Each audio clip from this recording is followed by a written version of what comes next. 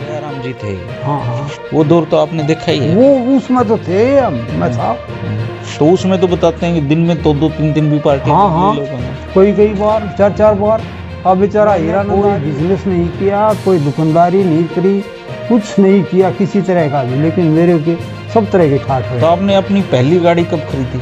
मैंने तो फिर मांडी कर गया। कोई यो यो धर गया या ये ये सोफा धर गया। मैं तो फक्कड़ आदमी था मेरे घर में तो कुछ था ही को नहीं। कोई धर गया वो धर गया। बनने के बाद ये नहीं कि बनने के बाद कोई किसी ने मेरी ये इस तरह के सामान सुमून की। कर दी तो कर कर दी तो फिर नहीं तो राम सिंह को हरा दिया। आप हार गया मैं कह रहा हूँ। तो वो जब आप मिला करते तो कैसे मतलब खूब बड़ी यात्रा है तो बहुत। कहा नहीं भाई एक आधी बार मन नहीं वो पड़ा नहीं बोला रहा दुष्ट तू कितना आ गया छोरा। अच्छा वो आपके बुज़ुर्ग थे? आपने भाषण में कहा था कि हमने पशुओं को डंगर ढोर को बिकते हुए देखा सुना है। हम्म, हम्म। देखा है। लेकिन ये है ये ऐसा भी होता है कि यहाँ पर तो एमएलए भी बिकते हैं। हमारे साथ जो व्यक्ति बैठे हैं उनका परिचय बहुत बड़ा है। हरियाणा के गठन के साथ ही दादरी के जो पहले विधायक थे गणपत राय जी बने थे। 1967 में ये विधायक बने 1968 में ये विधायक बने और 1972 में ये दादरी के विधायक बने।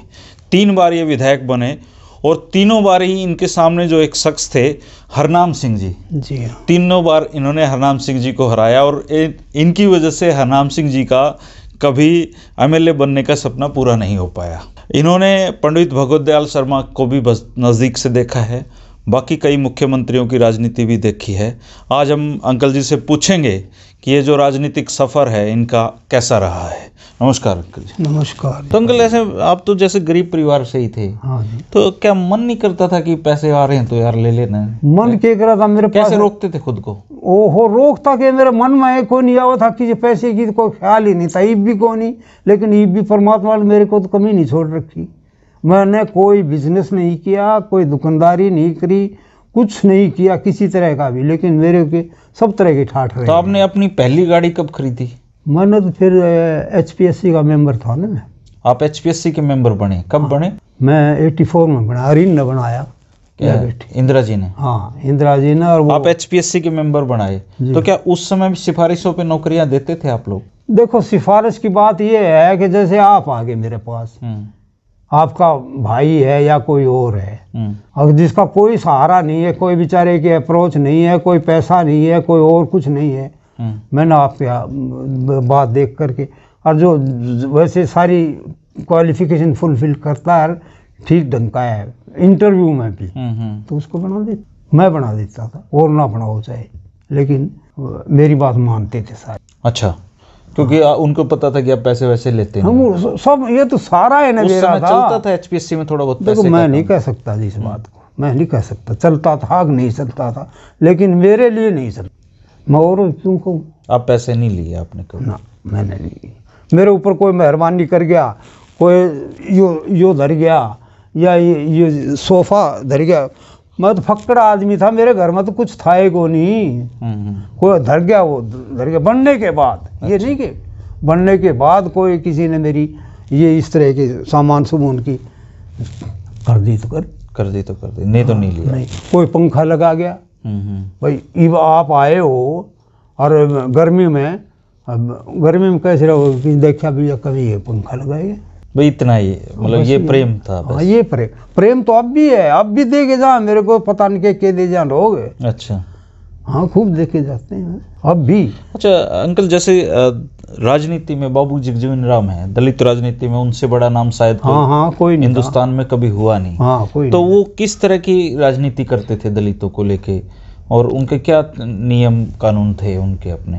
देखो जी उनका तो रोब था बात ये है ना। हम्म, और वो स्वतंत्रता सेनानी थे हम्म। और दलितों के मसीहा थे। काफ़ी मज़बूत हाँ बड़े प्रभाव वाले थे। वो मेरे चुनाव में आए थे यहाँ पर भी। अच्छा। हाँ। तो चुनाव में आने का कोई चिंता उंदा कुछ नहीं लेते थे? कुछ नहीं कोई बात ही नहीं पैसे की क्या वो तो अपना मतलब पार्टी की तरफ़ से आया करते पार्टी की और मंत्री होते थे बड़े अच्छे उसके तो वो उनने के पैसे का वो कोई लोभ लालच तो था ही नहीं उन दिनों में। इतने बड़े आदमी। तो वो जो आया राम गया राम जी थे हाँ हाँ। वो दौर तो आपने देखा ही है। वो उसमें तो थे हम मैं था। हम्म। तो उसमें तो बताते हैं कि दिन में तो दो तीन दिन भी पार्टी हाँ, हाँ। लोगों ने। कोई कई बार चार चार बार। आपने तीन बार राम सिंह को हरा दिया। आप हार गया मैं कह रहा हूँ? तो वो जब आप मिला करते तो कैसे मतलब खूब बड़ी यात्रा है तो बहुत उन्हें कहा नहीं भाई एक आधी बार मन नहीं वो नहीं बोला रहा दुष्ट तू कितना आ गया छोरा।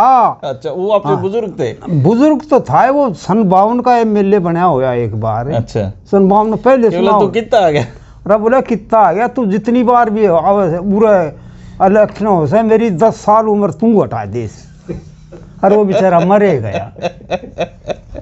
एमएलए नहीं बन पाए। एमएलए जो वो अपने जो निहाल सिंह और वो दोनों क्योंकि न दल बदला था सन बावन में। हाँ, हाँ, ये बन तो गए थे कांग्रेस से सन बावन में। हाँ, हाँ। और फिर वो पैप्सू हुआ करती थी उस हाँ उन दिनों में। ये चले गए अकाली दल में। अच्छा। वो कलंक ऐसा लगा पब्लिक ने इतना यानी उस उसमें दल बदल को अच्छा नहीं मानते थे? बहुत बुरा मानते थे। हम्म, हम्म, और नेहरू जी आए थे सन चौवन में उरे हम्म, जब सन चौवन में वो हुए ना मध्य अवधि चुनाव पेप्सू के तो नेहरू जी आए थे जिनसे ये नहर का उद, वो करके गए थे उद्घाटन। न उद्घाटन के आधारशिला करके गए थे तो उन्होंने कहा था इतनी भारी पब्लिक जुड़ी हुई थी ऊँटों के ऊपर कहाँ आए पे थी रैली वो? हैं जी। कहाँ पे? जनसभा थी दादरी में ही? दादरी में थी अच्छा ऊँटों पे आदमी आए थे उनको देखने?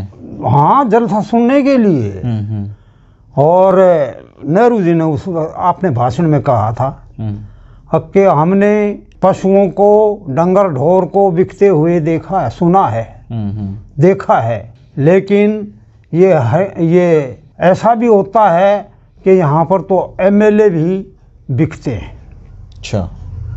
उनके बारे में कहा? हाँ निहाल सिंह के बारे में और उसके। तो तब तो आप पॉलिटिक्स में थे ही नहीं। मैं तो ब- बालक था जब वैसे सुनने गए थे हाँ सुनने। मतलब ये तो देखो जर्म्स तो पैदाइशी होते हैं। मतलब आप मानते हो क्या विधायक बनने के पैदाइशी थे आप में? ना ना हमने जब का विधायक का तो पता है कौन नहीं था के है। लेकिन ये, तो कुदरती तौर से स्वभाव होता है। हम्म, तो ये था ऐसा धोखे तो आपने राजनीति छोड़ी कब अंकल? छोड़ तो ही- छोड़ दे रखी एक तो उम्र ज़्यादा होगी। हम्म, और फिर मेरा वैसे भी रुचि नहीं रही इसके। अच्छा हाँ अपने आप ही। मतलब जो स्तेंतर वाला चुनाव हारे आप हाँ उसके उसके बाद- बाद तो खूब रहा मैं। राजनीति में रहे? राजनीति में क्या ती, तीन साल तक तो मैं एच एस का मेंबर बनाए रखा है इन्होंने। हम्म, देखो मैं विरोधी लड़ा पार्टी के खिलाफ लड़ा और सब के खिलाफ रहा हूँ मैं। तब भी एचपीसी के मेंबर पहले तो तीन साल के लिए एचएससीबी का मेंबर बनाया। हम्म, फिर सन चौरासी में एचपीएससी का मेंबर बना दिया। हम्म, हम्म, उसके बाद भी ये नहीं कि कोई कोई भी चीफ मिनिस्टर बना चाहे चौधरी बंसीलाल बने हों चाहे ओम प्रकाश चौटाला जी देवीलाल जी या बनारसी दास कोई भी मास्टर जी भी। हालाँकि मैं तो इनके खिलाफ लड़ा था लेकिन मास्टर हुकम सिंह जी के दिल में कभी मेरे बारे में वो कैसे व्यक्ति थे मास्टर हुकम सिंह? बढ़िया आदमी था। पैसा वैसा उन्होंने भी नहीं कमाया। तो जब रिटायर से हो गया आप दोनों मिलते थे लास्ट खूब मिला मैं उनके घर में खूब जाता था आता था खूब आप प्यार प्रेम से रहे। बिल्कुल बहुत बढ़िया। हारने के बावजूद भी सब कुछ एक- हमारे दिल में कोई बातें नहीं थी हम तो ऐसी नस्ल के आदमी थे यानी पुराने उसके के ये नफरत और तो ये अब वाली नस्ल के बारे में क्या कहोगे जो राजनीति की अब नस्ल आई हुई है? इसके बारे में तो आप आप सब कुछ भी कह सकते हो आप पे कह दो मैं क्या कहूँगा कोई भी कह दे आज कैसी नस्ल है ये? क्या नस्ल है अब तो सबका ध्येय ये तो ये तो बिज़नेस बना रखा है सियासत का।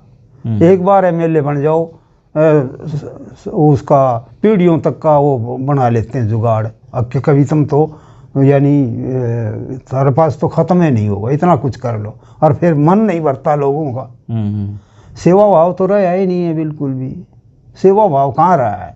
ये मेरे को एचपीएससी का मेंबर बना दिया इन्होंने तो मैं तो कुछ भी कर सकूँ था। हम्म, कितनी दौलत इकट्ठी कर ली हो कितना ही कुछ कर लिया हो लेकिन मन नहीं नहीं हुआ मेरे से न करया परमात्मा ने आपको आप इस बात के शुक्रगुजार थे कि आपको वैसे ही बहुत दे दिया परमात्मा वो परमात्मा देने लग रहा है ईब भी। कोई न्यू सोचा ना कि भाई इसने न्यू कर दो। कुछ नहीं कर सकता मेरा कोई भी। हम्म, परमात्मा का मेरे साथ डायरेक्ट कनेक्शन है। वो तो है ही। सब कुछ अंकल आप अभी फिट हो? कितनी उम्र होगी आपकी? मैं एट्टी सिक्स का वो है। हाँ। तो ये कैसे फिटनेस कैसे मेंटेन कर रखी है? क्या? मैं सुबह उठता हूँ तीन बजे। तीन बजे उठ लेते हो। हाँ कितने सालों से उठ रहे हो? शुरू से। राजनीति में थे तब भी तीन बजे उठ लेते जी हाँ? अच्छा फिर तीन बजे उठ के क्या करते हो? नित प्रति ये कर्म जो हुआ करते हैं वो करता हूँ। जी। फिर मैं तीन घंटे जो है योग करता हूँ। तो आप तो बाबा रामदेव से पहले के योगी हो। किए तो काल के थोड़े के हैं है। पहले आचार्य भगवान देव हुआ करते थे जी, पर। जी, जो जजर गुरुकुल वाले। हाँ हाँ।, हाँ, हाँ।